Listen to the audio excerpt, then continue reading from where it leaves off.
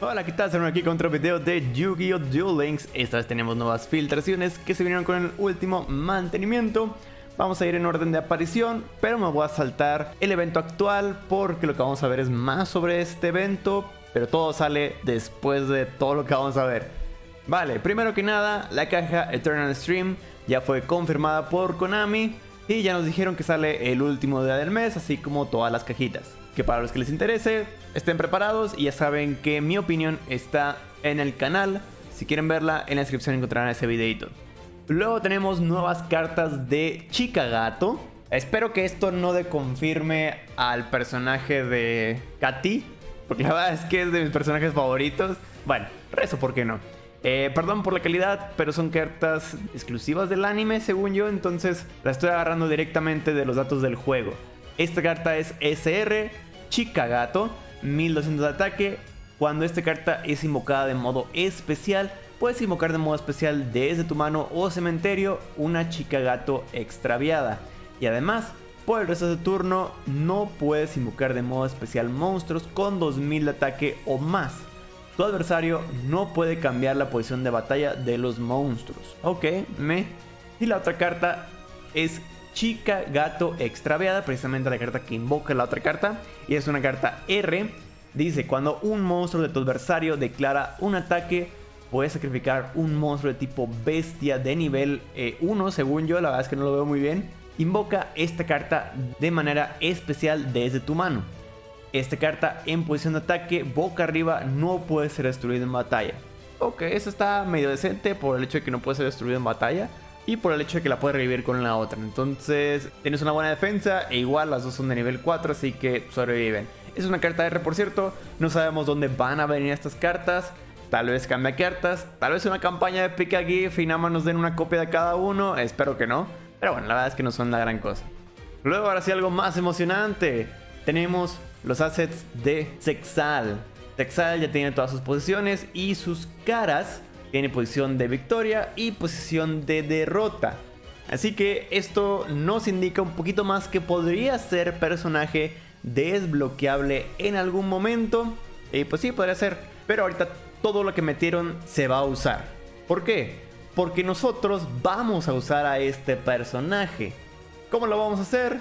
Pues bueno, con las habilidades que nos van a estar prestando en el evento. En el evento va a aparecer después esta imagen en donde nos van a estar dando eh, una de tres habilidades. No sé si va a ser al azar o si cada uno de los duelos va a ser diferente y podamos usar cada una de estas habilidades en diferentes duelos pero prácticamente todas las habilidades transforman a Yuma Astral en Sexal. Eso quiere decir, vamos a estar usando a Sexal y por eso es que tenemos pose de victoria, pose de derrota y todas las diferentes caras que se puedan aparecer en un duelo. Y bueno, aquí les pongo la primera habilidad, de hecho son las habilidades que habíamos visto la otra vez, pero que no tenían descripción, ahora ya tenemos la confirmación que son para evento. Como dije, son tres, no sabría decirles si nos van a dar las tres si van a ser al azar, si se van a guardar alguna o qué onda. Pero bueno, Sexal Exist Change. Eh, todas las habilidades al principio dicen exactamente lo mismo, así que las otras habilidades voy a resumirlos un poco. Dice, actívalo al principio del turno en que tus puntos de vida sean 2000 o menor.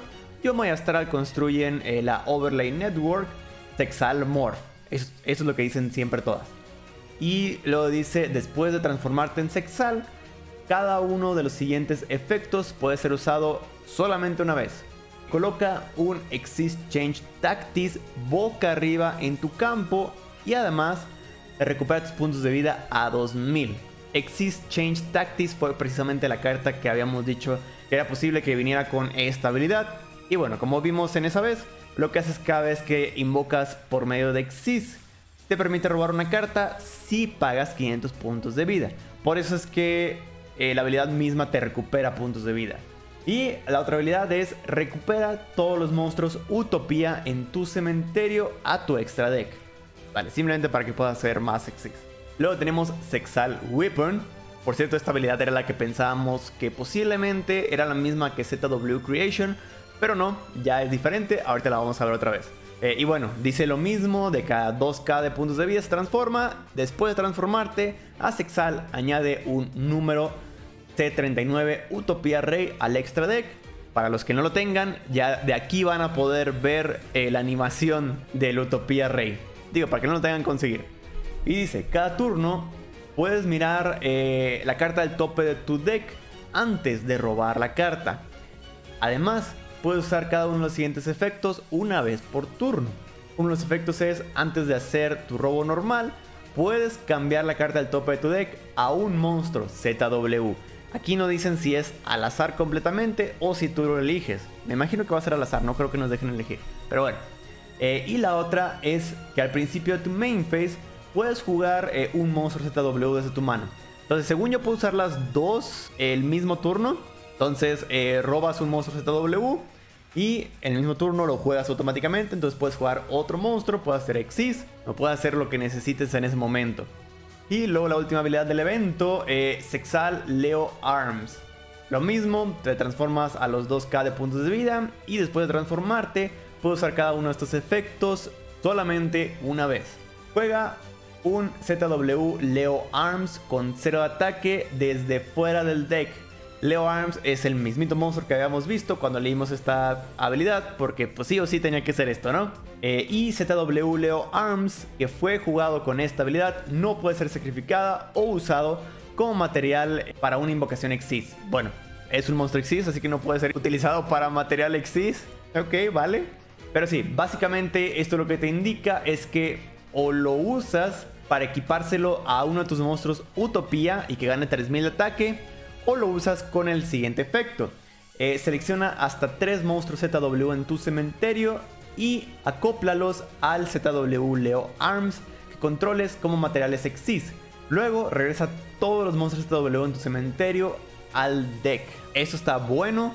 Eh, ¿Por qué? Porque precisamente Leo Arms te permite desacoplar un material para buscar un monstruo ZW. Entonces con esto podrías recuperar la carta que tú quisieras, ya sea en tu mano o en el campo, lo que, lo que necesites. Entonces, muy bien. Tal vez se use más la primera, la primera para poderlo equipar nada más y listo. Pero bueno, aparte de esto, el evento dice que nos van a dar una habilidad. ¿Cuál es esta habilidad? Pues bueno, es la misma que ya hemos visto desde hace muchísimo tiempo. ZW Creation es la habilidad que mencioné que sí nos podrían dar, ya que incluso tiene una restricción muy grande. Y bueno, lo que dice es que eh, si tienes un monstruo Utopía en el campo al principio del turno 5 en adelante, coloca Shining Draw desde fuera del deck al tope de tu deck. Eso quiere decir, lo vas a robar. ¿Y qué es lo que hace Shining Draw? Como ya habíamos visto antes, en el momento que lo robas, enseña y en tu main phase se juega para poder robar dos monstruos ZW. Que precisamente la nueva caja trae muchos monstruos ZW. Pero también la habilidad lo que hace es que te añade un ZW Unicorn Spear y un ZW eh, Mail hasta el fondo del deck. Entonces, por la misma habilidad puedes sacar estas dos cartas. Esta habilidad solo se puede usar una vez por duelo. Y bueno, para los que se pregunten qué es lo que hace cada uno de estos monstruos, no se preocupen, la nueva caja incluye ambos. Así que en la misma noticia del juego, ahí las podrán ver. O si se esperan a que salga la caja, ahí pueden leer los monstruos en español. Y entonces, volvemos a la pregunta. ¿Sexal va a ser desbloqueable? Pues como vimos, absolutamente todo lo que hay en estos momentos acerca de Sexal, todo se va a usar para este evento. Por lo tanto, podríamos decir que no, no va a salir. Pero podría ser que Konami luego quiera reciclar estos assets y diga, sí, vamos a sacarlo de una vez y le inventamos nuevas habilidades. Pero sí, hasta el momento no hay ninguna habilidad para él. Pero bueno, díganme ustedes qué opinan en los comentarios. Por mi parte, eso será todo. Muchísimas gracias por ver este video. Recuerden dejarle like si les gustó. No olviden suscribirse al canal si no han hecho. Y nos vemos en la próxima. Bye bye.